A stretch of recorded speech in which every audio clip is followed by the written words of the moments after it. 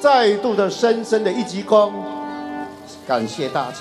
二零二四总统大选势在必得的国民党输了快一百多万票，外界归咎败选原因时，总少不了马英九的这段话。So you think you can trust him?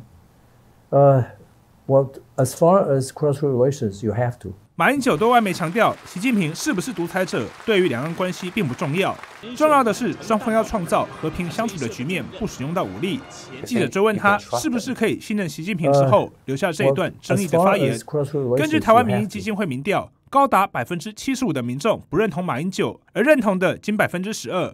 此外，也有过半民众和赖清德一样，反对习近平的九二共识、一国两制。而针对统独倾向的调查，认同台独的超过四成，维持现状三成三。单纯以这个质疑来解释，当然怪怪的啦。哈，就是说我们表达我们的诉求，可能这个频率要对，如果频率不对，就鸡同鸭讲，这个没办法变成一个共识。所以你个人是支持九二共识的？我觉得那个是以前的历史，那历史到现在它是需要被调整，不见得适不见得适用现在的环境。马英九说我们要信任习近平，对不对？嗯。可是我们没有办法信任他。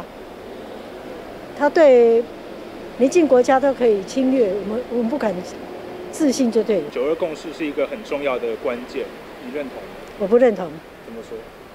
因为没有九二共识，我们台独不不讲究九二共识。九二共识、一国两制是不为台湾人民所接受的，我想这是一个很清楚的事实了。呃，赖清德总统所递出的一个善意的橄榄枝，然后我们希望中共当局能够审慎思考，哈，在呃对等尊严。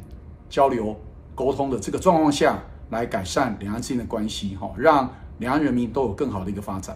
台湾人透过选票支持赖清德的两岸论述，也是中共当局一个思考的机会，是否要修正过往文攻武赫、经济封锁的对台策略？民新闻综合报道。传承着伟。